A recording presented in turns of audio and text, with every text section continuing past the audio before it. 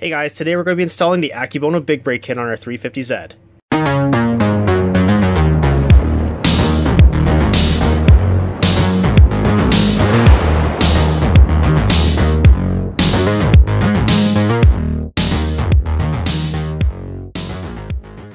So one of the things you want to look out for when you are thinking about adding a big brake kit is clearance. So we have these 19 inch Vossen wheels and you can see that we have quite a bit of clearance but however right here we don't have a ton. So if you're just looking at the wheel like this you're like oh I have tons of space you have to remember not every wheel is manufactured the same.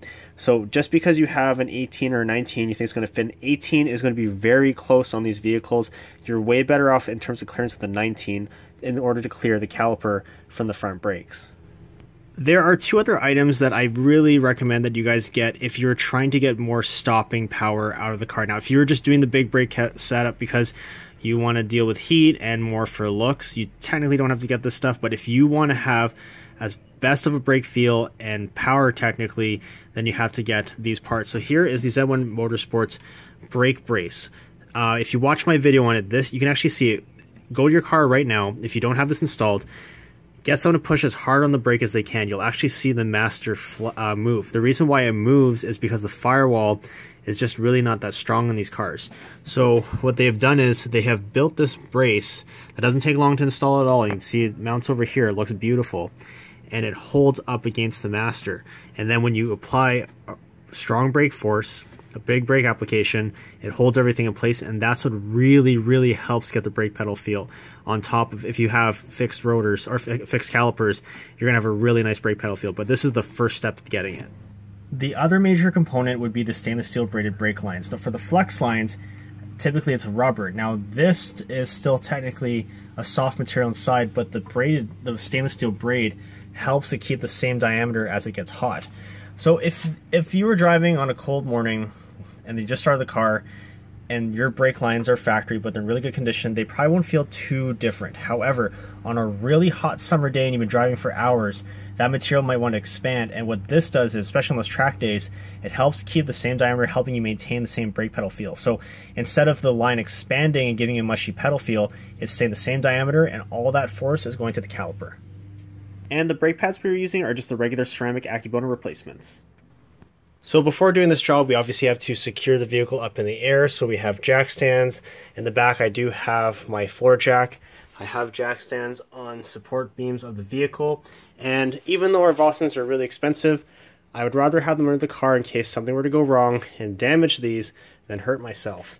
Also, we're just going to use some used cardboard underneath here because to do this job make things easier, we're going to release the brake lines. That way we're completely free of the calipers because we have to remove the calipers anyways, but then we don't have to deal with them being attached to the vehicle.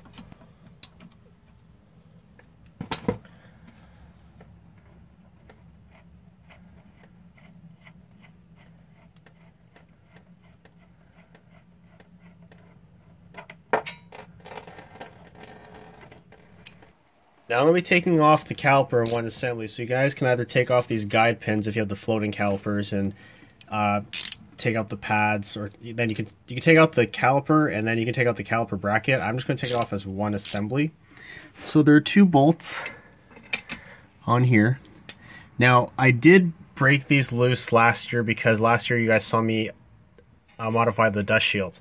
So it wasn't that hard. I just had um, you know, open-ended wrenches and then a rubber mallet, and I was able to break it loose. So these bolts don't come out too hard.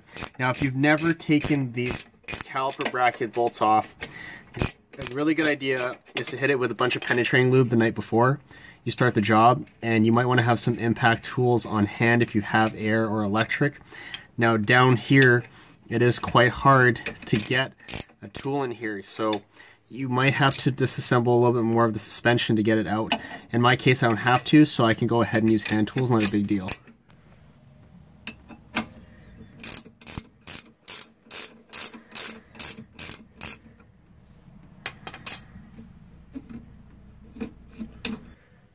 The nice thing about the 350 is the parking brake is not built into the caliper. It's actually a drum assembly in the disc, so you don't have to deal with too much when we're doing the swap.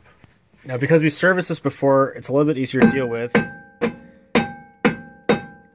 parking brakes off, make sure, because you will not be able to remove the rotor if you do so. So we have gone ahead in here before and we've cleaned it. So if you haven't done so before, use a bunch of brake clean. You can even put you can put a little bit of grease in here. I wouldn't really recommend it because it's spinning so much that if you put anti-seize in here, what's going to happen is going to fling over time and then it's going to get in the drum and you're not going to be able to have your parking brake actually grab on that well. So this is one of the few times I really don't recommend putting anti-seize grease, but do take the time to do a good cleaning in here before you put it all back together. So you guys can see our dust shield has been modified and you refer to our previous video, but you can see here we've clearanced this area top and bottom and we bent it back. One, we wanted to try to feed it more air. I don't know if it's going to do anything, but also we get a lot more clearance because the rears of the calipers just do bolt right in, but the dust shield gets in the way. Also, your new your new rotors are going to be much bigger than here, so they are going to go past the dust shield. It's okay; it's not going to affect anything. And then you want to make sure again, inspect everything and making adjustments on the parking brake if you need to. So I wanted you guys to check this out. This is the original rotor. So its diameter is roughly about 12 inches. Now, why do I have two? You guys saw me machine this one before. Now, this is the problem with buying used. This is actually not the correct rotor.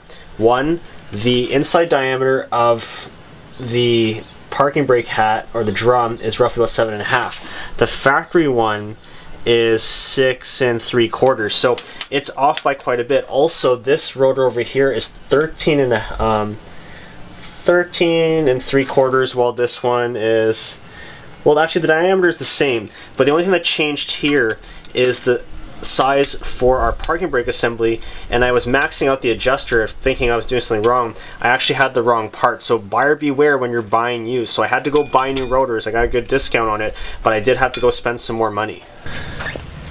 Well since I've been messing around with the adjuster so much I'm just taking the time to take it apart inspect it and grease it so it doesn't seize up on me. There is lots of grease in here anyways, but I figure just take the time and inspect it at the very least so we can go ahead and put this thing back together and get it done right. So if you guys need to change out your parking brake assembly, now is kind of the time to do so. and now I can go ahead and do my readjustment.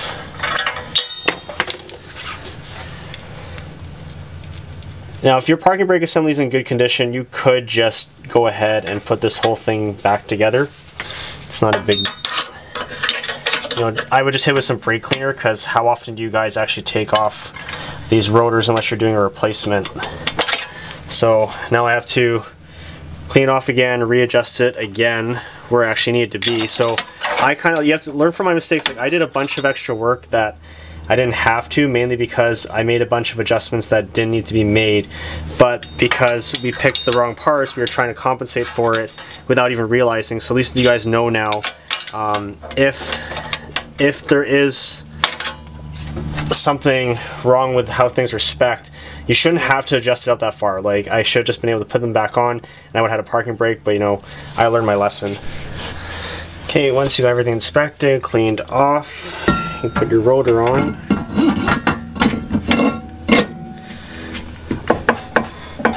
So there's a little bit of friction, so you want to make sure that it can spin pretty free once you got your rotor on and you've cleaned it with brake cleaner. You're going to clean again afterwards, but there is an anti-corrosion um, material that they put on because you don't know how long they're going to be stored for and these are machined uh, from factory so they don't want it to rust so keep that in mind when you are dealing with new rotors. You can go ahead and put our caliper on. So I like to put a little bit of thread lock on there. If you're seeing that red, that's not red thread lock. That is the red paint from previously installing because we painted and there's some overspray inside the caliper. Um, I wouldn't recommend red on this application. It's very permanent and you know if you're you're not going to do your brakes that often, not depending on how much you guys track your car and daily use it. So blue is going to be enough. Now, blue also will uh, lubricate, so there's, you can argue it either way. If you use blue Loctite, in an acts like a lubricant, it's going to be hard when you torque it down to specification because it'll technically be inaccurate because it acts like a lubricant. So I'll let you guys decide if you want to use Loctite or not. So I'm just tightening up and snugging up the calipers and then we can finish installing our pads. I'll show you guys how to do the front. It's a little bit easier to get a better camera angle. So we're just going to speed up. So we're just reverse the process. Two bolts though. Um, no more guide pins. Well, not the same as a floating caliper at least. There are still pins. You still have to inspect, lubricate. It's just a little bit different. Uh, you might want to buy some extra cotter pins or whatever. Um, in case you lose them. They are very small. So you don't hang up your job because of that.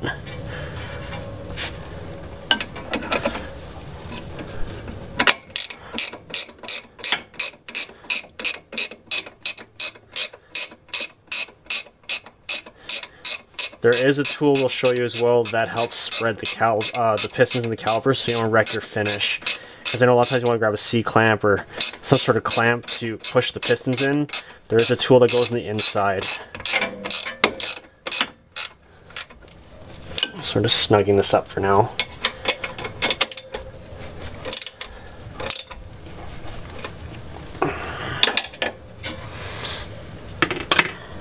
Okay, so got your pistons pushed out, so you can go ahead and put in your pad.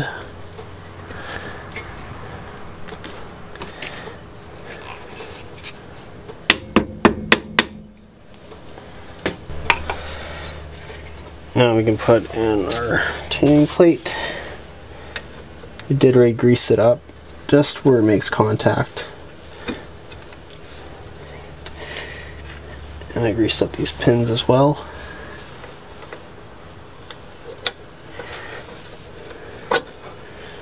And goes through the hole, over the other bracket, through the other hole.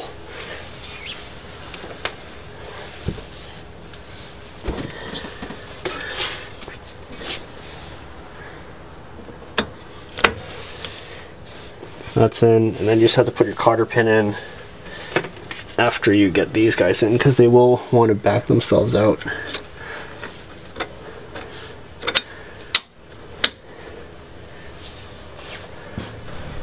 One tip I would have for you guys before you get too deep and hook up your brake lines and everything and start bleeding, I would double check the operation of your parking brake. So just release the parking brake, be able to turn it by hand very smoothly. You will hear some friction from the pads, uh, but it shouldn't have that much resistance, especially when everything is new.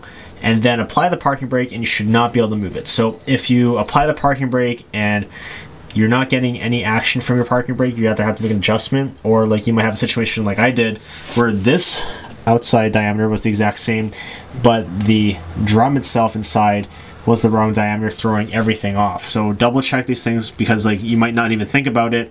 You know, everything goes smoothly, you bleed everything, and then all of a sudden you have to take it all apart and either change parts or make an adjustment. Our rears are now finished. Now, sorry I wasn't able to do it step by step and showing everything, but I'm going to show you in depth um, how to do the front because we can actually turn the wheel more towards the camera.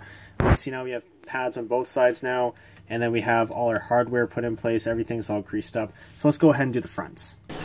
Okay, so we're going to do the front. So the first thing to start off with is we're going to remove the brake lines. So get a container to catch everything.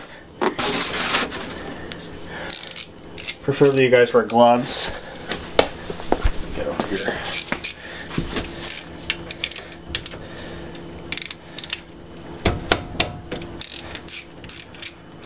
So I already run stainless steel braided brake lines from StopTech, which is nice. Um, so the banjo bolts on this car are already short. But I did get new crush washers. But we're always going to keep our crush washers just in case. But I highly recommend you run new ones. So we're going to get, yeah, so get those brake lines off. We're going to have to put new brake fluid in anyways, but that's the first step. Now the next step is to get the longest breaker bar in your arsenal. Um, the passenger side is a little bit easier because at least we get to push down. Um, on the driver's side, I had to put my feet up inside and uh, use a little bit more leverage. Um, this is on a job like this, you definitely want to start investing into uh, compressed air impact or electric impact even. Um, if you want to get into this kind of stuff, if you want to speed up the process, can make your life a lot easier. But we're going to do it without it anyways. Okay.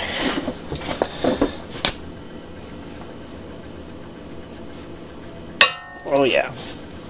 Ugh. Ugh. Yeah, I gotta make a bunch of dad sounds.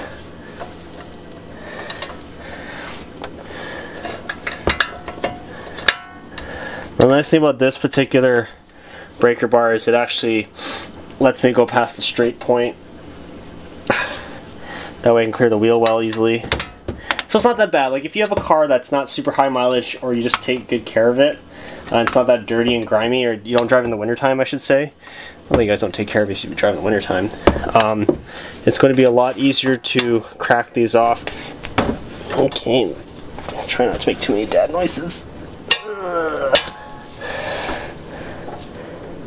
wasn't so bad. So the reason why it wasn't too bad, I put a bunch of penetrating lube when I was doing the driver's side. So I, this had more time to sit. If you were planning on doing this, put the carb in the air, take the wheels off, scope out your job, hit every major bolt with penetrating lube. That way the next day is going to be a lot easier on you. So because we've disconnected our brake line, this thing's kind of just going to fall out now.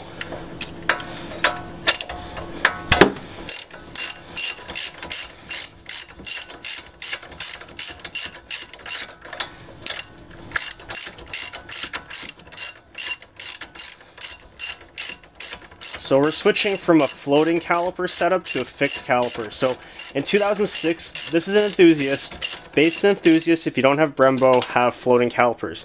Now, what they did do was they upgraded the diameter size, so it's bigger. So if you have a, compared to a 2003 to 2005 base, you do have bigger brakes.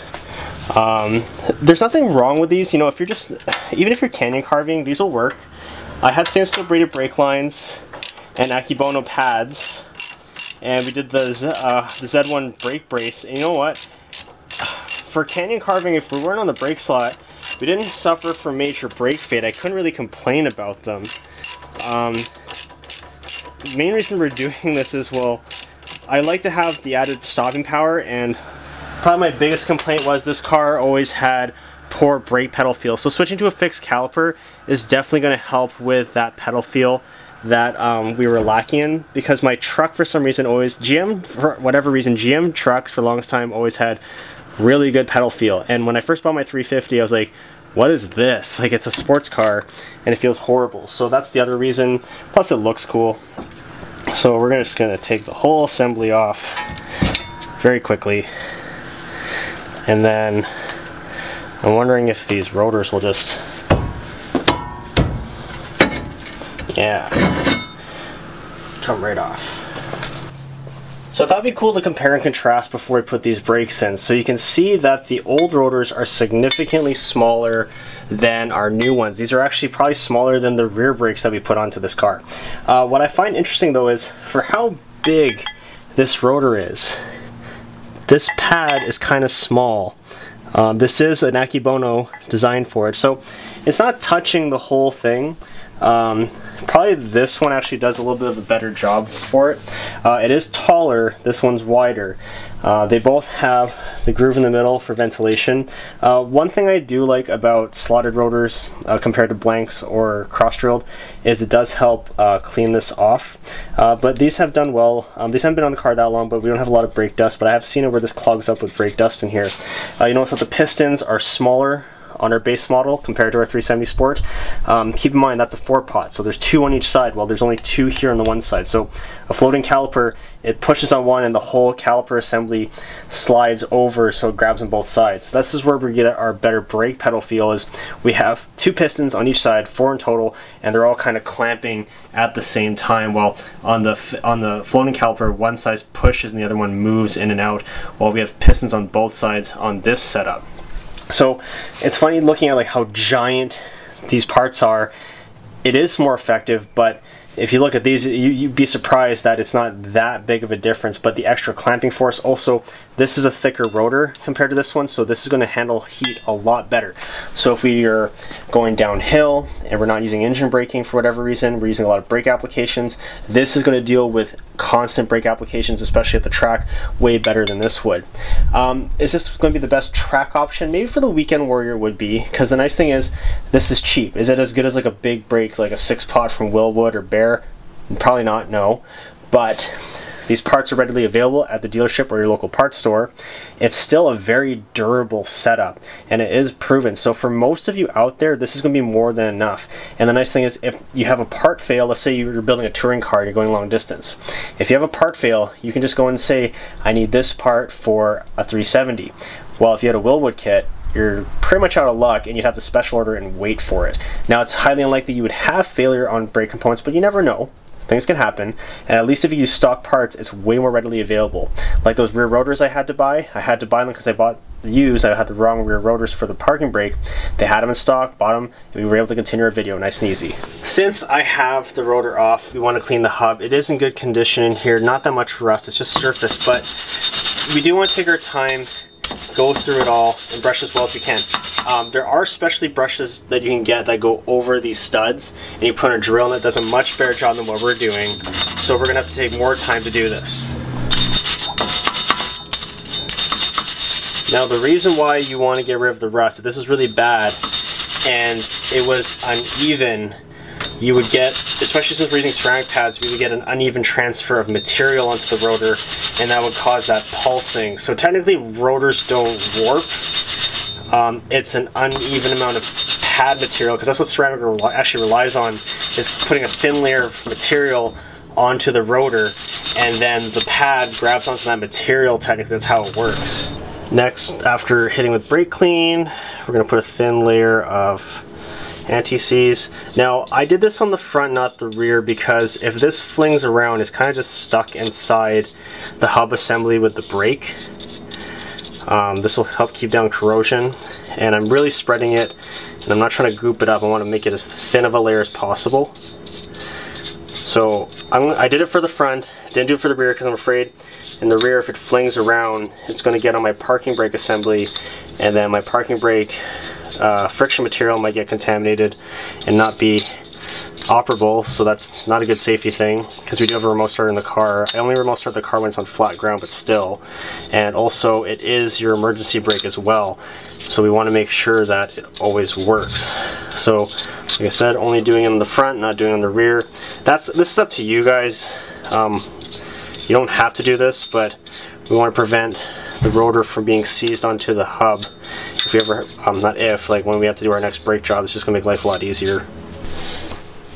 So here's the part that makes everything all possible for the front. The rear we got lucky because Nissan kind of engineered the rear the same so everything lines up. The front is different because those front calipers are so big so we have to run an adapter. So we got these from Z1 and I prefer the Z1 not because I deal with them all the time and they're easy to deal with. The reason why I pick theirs is I'll pick whoever has the best product. I pick this one because it is one piece. It's relatively heavy for being billet aluminum or whatever it's machined out of, but it's one piece, which is a much stronger design. There are other manufacturers out there that do two piece. Don't really, I don't really trust it nearly as much as a piece engineered as highly as this one. But this is what's going to make life easy because we don't have to do much to modify this front and to make it all work. So like the rear, the front dust shield does need to be modified. Now I've seen people do it different ways. I've seen people cut off these ears over here because the new caliper will uh, won't fit with it. Um, you remove it all completely. I like to bang, so we're going to bang it out. Um, so what I did on the on the driver's side was I actually just folded this in and it clears everything but I also tapped around the outer perimeter here as well because you have to watch out because the new rotors are thicker and it will touch so you have to make sure you have clearance for that as well so we just have to bang it in just a bit.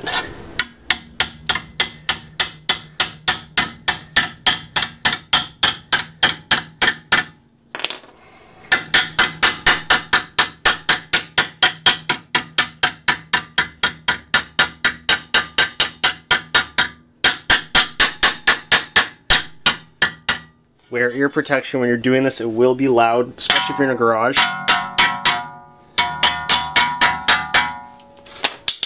And then we're going to come across the other parts.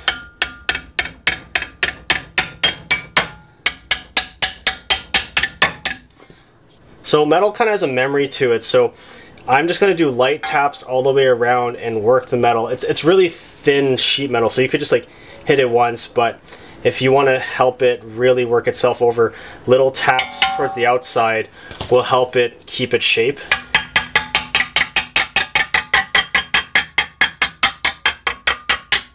And remember to do the whole thing because when you pull on one side it can pull on or you push on one side it can pull on another so the bottom might start to come up so make sure you have to work the whole thing and then you'll have enough clearance for your rotor and all the other parts.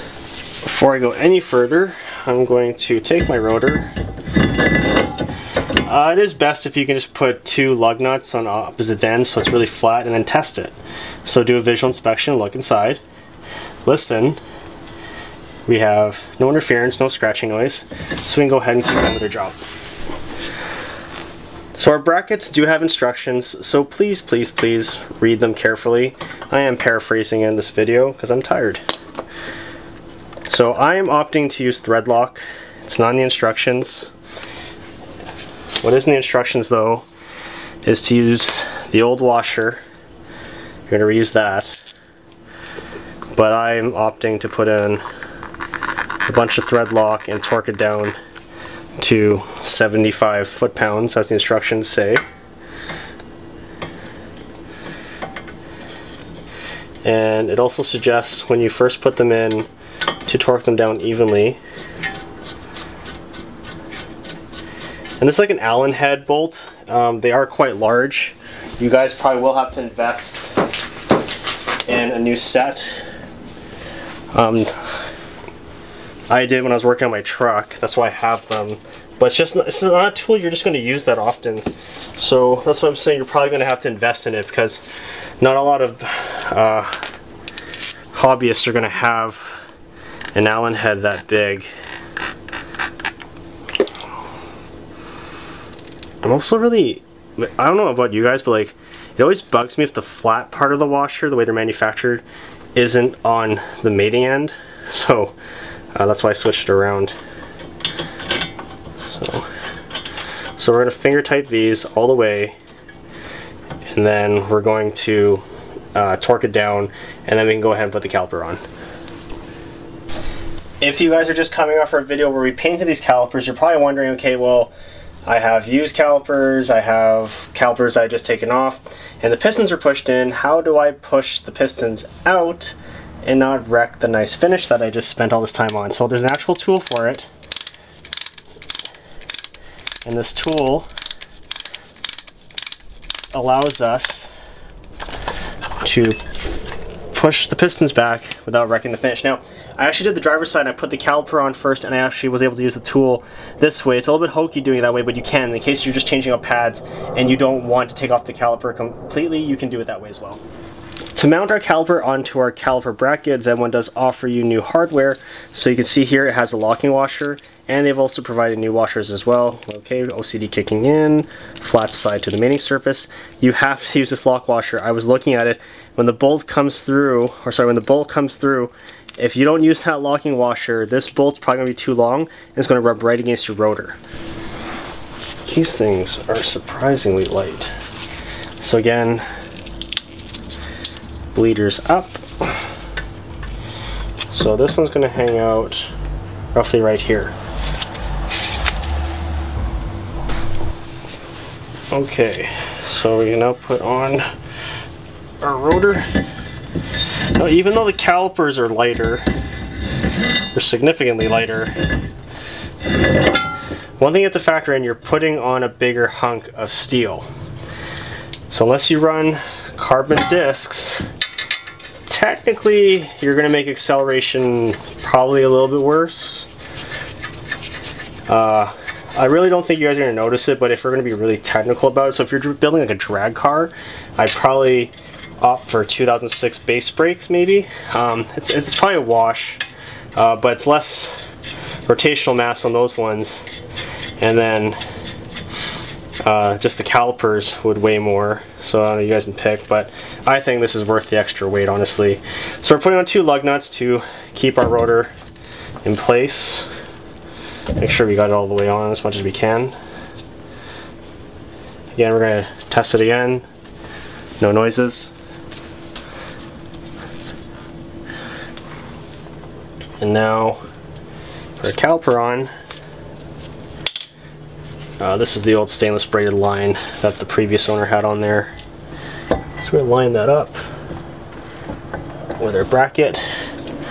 New hardware. Now I'm opting not to put on thread lock because this is a serviceable piece and we have that lock washer. And these get torqued down to factory spec. These get torqued down to 98 foot-pounds so that's pretty tight. As long as you guys are checking your stuff you should be fine. So like I know a lot of videos that like thread lock glue like we even use it to fix the axle shaft issue in these things. But for this part we're not going to use it. Now that brake shield that I cinched down will touch the caliper a bit. You just have to push it in. I already got it to thread. So now all we have to do is thread them evenly going back and forth and then just torque it down to 98 foot-pounds.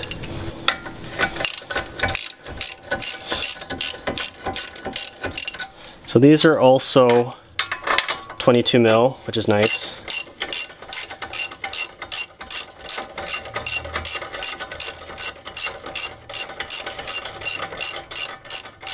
Now if you guys are going to squeeze the pistons here, uh, leave the brake line off so you squirt out all the fluid. So in case your calipers have a bunch of sediment in them, you don't shoot it back into the system.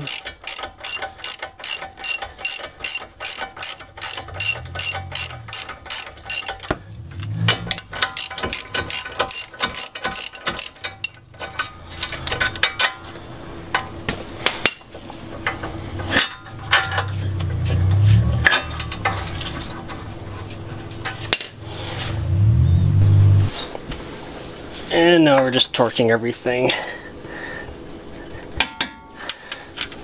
to manufacturer specifications.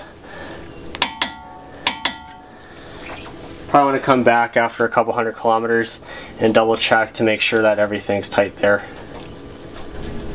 Again, I already had aftermarket banjo bolts on my car, so these are already really short. But new crush washers are were installed and then we can go ahead and cinch these down. Okay, so you're almost done. It's not that bad, right? So we are using actual brake lubricant. It is designed for this application. So I am just going to lightly put a coat of the stuff where the pad needs to slide or makes contact with anything. We have to do the pad itself. No, not the friction material, you're going to do the back plate of it.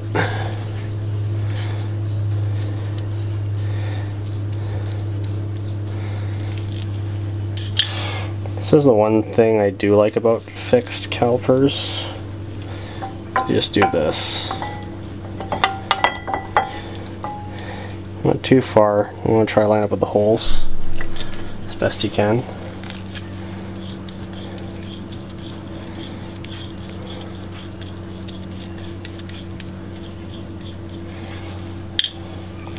Do not touch the friction material. Uh, these guide pins I also do and also the spring plate so you can see it's tapered on the sides so it helps push the pads back in place.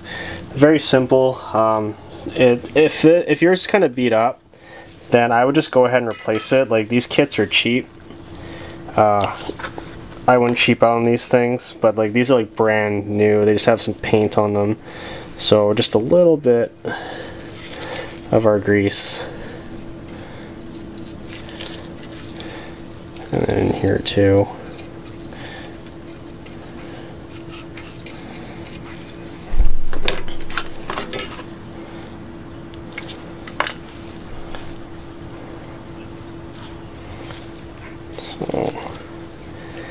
When you're done you want to try to center everything this is kind of this part is kind of where it gets finicky, and the rears were better than the fronts because these guys don't have a Phillips on the end. And I liked having the Phillips on the end so I could just throw the pins in, and then I could line up the hole after for the uh, for the cotter pin. Um, this one doesn't have that. I don't know why. Uh, so I have to keep note of the orientation of that when I'm putting it in. So it goes under, then over, then under again. So now we can get our pins in.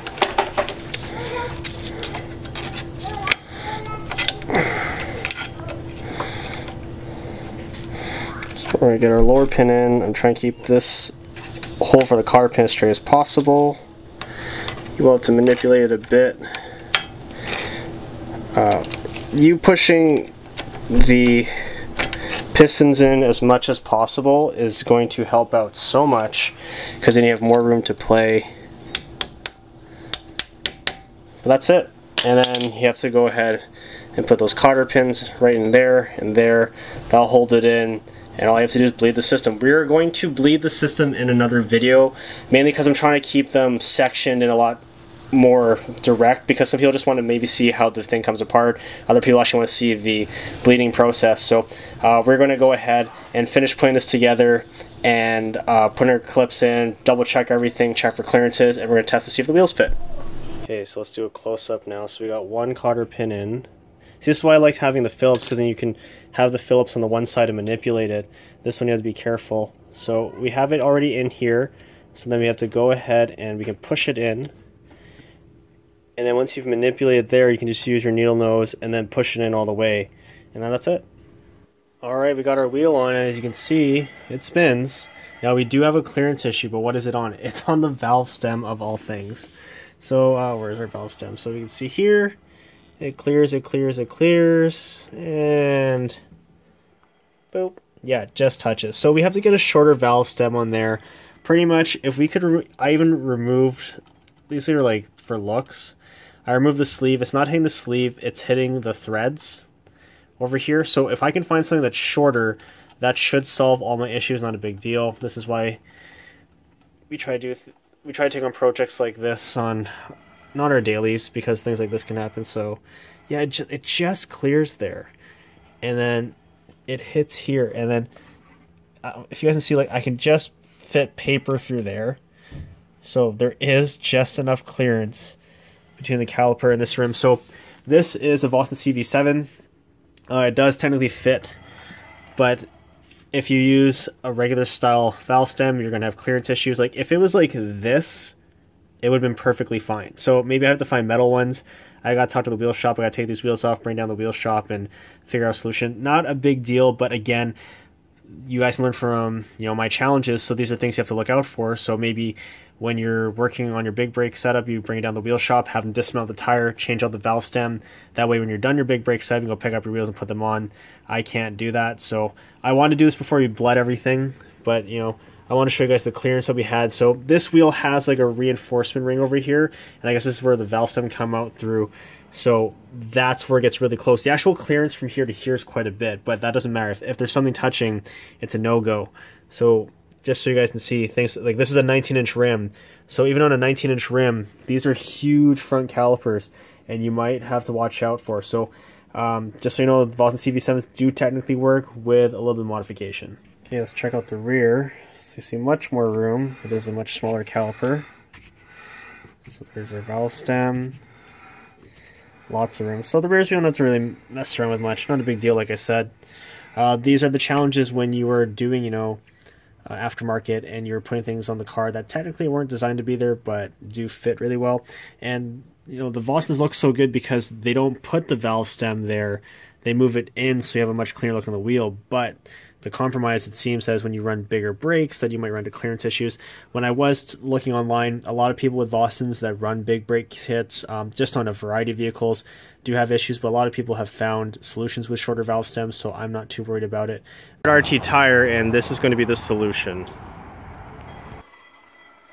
Alright, got the wheel back from the wheel shop, and that is our solution, so you can see now, totally clears the caliper for the front. I only did this for the front, and I'll show you guys why. Because it is a little bit more of a complicated piece, but the main thing is we have just enough clearance everywhere, just barely clears the caliper there. So, um, yeah, no room for error on this one, but it worked out. Here is our solution for our valve stem. So you can see here there is a gasket here and here. So this is the outside where the wheel is. This goes on the inside of the wheel. And then there's a nut and a jam nut to make sure it holds it in place. So the only way to actually be able to put air in the tire, you then take this tool, you thread it on, and then it becomes like a normal valve stem. So you can actually fill it up. And then when you're done, take it off, and then you put this cap on. Now, if I were building a hot rod and I had polished wheels or chrome wheels, I would totally have these on here. I think they look awesome. However, because we were building a touring car, touring cars should be somewhat serviceable, especially when it comes just filling up with air when you're driving on long trips. This little guy, if you were to lose it, you'd kind of be stuck because not every wheel shop is going to deal with this. And I've I've talked to people that weren't experienced that did work in wheel shops and never seen anything like this either. So especially shops that do a lot of weird wheels and clearance issues are going to carry this. So I decided to only put this on the front. I still had to buy it as a set. I didn't really save any money, but because that way, if something goes wrong on the rear, I just fill it up like a normal tire and I only have to deal with this tool in the front. I'm going to keep this in the car. I'm going to buy a couple more, keep it in the garage, keep it at my shop. You know, keep a few around just in case you know something if this would ever get damaged or if I lose it. Um, so I don't like this for the serviceability aspect. I think this looks awesome. Um, I do prefer just have a regular valve stem because they're proven. They're on daily drivers on millions and millions of cars. This kind of stuff you don't see too often, but there's just no choice to like you could do maybe an angled one but this is all they had in stock i think it works great and looks good so um, when you're putting parts on a vehicle and having wheels on there that weren't technically designed to be there then you might run into issues like this most vehicles though or, or, or wheels are going to have the valve stem here Vossen likes to put them further in so when you look at the wheel from here it just has a nice clean look that's their choice i'm not going to buy new wheels over a valve stem so i am totally cool running this stuff Remember, in this video, we didn't show us modifying the brake dust shields in the rear. We did show it in the front. So make sure you guys watch my other video where I trim it and I make my, my vent holes and everything. I don't I didn't I decided not to remove it because in case there's debris, it does help block it a bit. It is a touring car, it's a street driven car, so I decided to maintain it. That was my choice. Um, but you will have to modify because you can see on the back how much bigger the rotor is, and if you don't take off that lip, it's not going to fit. Well, we didn't show how to bleed the brakes, so I'm going to save that, like I said, for another video, but you will have to bleed the brakes in order for your system to work because you remove those brake lines, a bunch of fluid came out, and if you just, even if you just topped it off, you're going to have a bunch of air in the line. So to make the system work properly, make sure you bleed your brakes and refer to our video. As you guys see, we went with blanks. Well, main reason is we were buying a used set, so it already came with these, and I had to end up buying rears anyways, like you guys saw before, and they're blanks as well.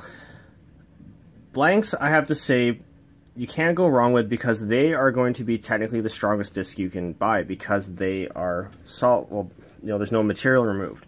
And on initial bite, I still argue if they're cold, or you know, you're just driving around and they've had time to cool down, you know, you're not doing a lot of braking when you initially brake, because there's more surface area, it's probably going to stop technically better than cross drilled or slotted or a combination of the two.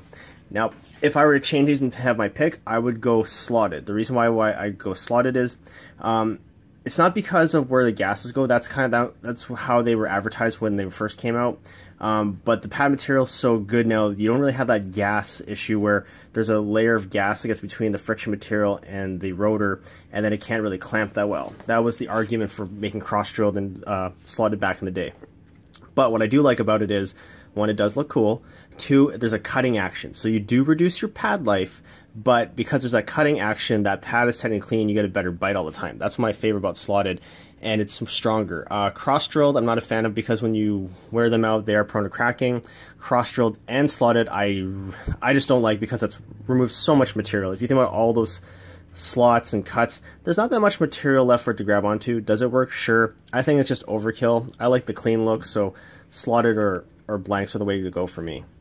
So, what do you guys think? I think this is a fantastic deal. I I'm always a big fan of putting bigger brakes that are factory off of one vehicle and putting them with either adapters or they just bolt up onto another one because that's basically what brakes do. Like just having bigger brakes gives you more performance.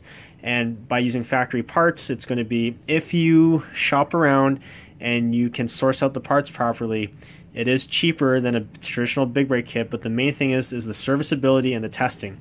Because it's OEM, it's been through the wringer, it's been tested. We know that they're reliable, we know that they're durable, and for street use, it's more than enough. And if we ever need parts, it's easy to find parts and they look fantastic. Like I just I like the white and the red theme that I have going on the car. I wanted to match it. Uh, we gotta we actually have to run the car now and warm them up after we bleed the system and check everything over because we need to bake that surface on. Um, if I had all the money in the world, I would probably order these from Z1 because you can get them already coated red, and that coating would be significantly more durable than paint. But paint is cheap and relatively easy, so you know we're on a budget. We're trying to build this car. So comment below, guys. Let me know what you think. Do you like the way it looks? Do you like the way it's set up? Does it make sense to you, or would you go a different route? Let me know.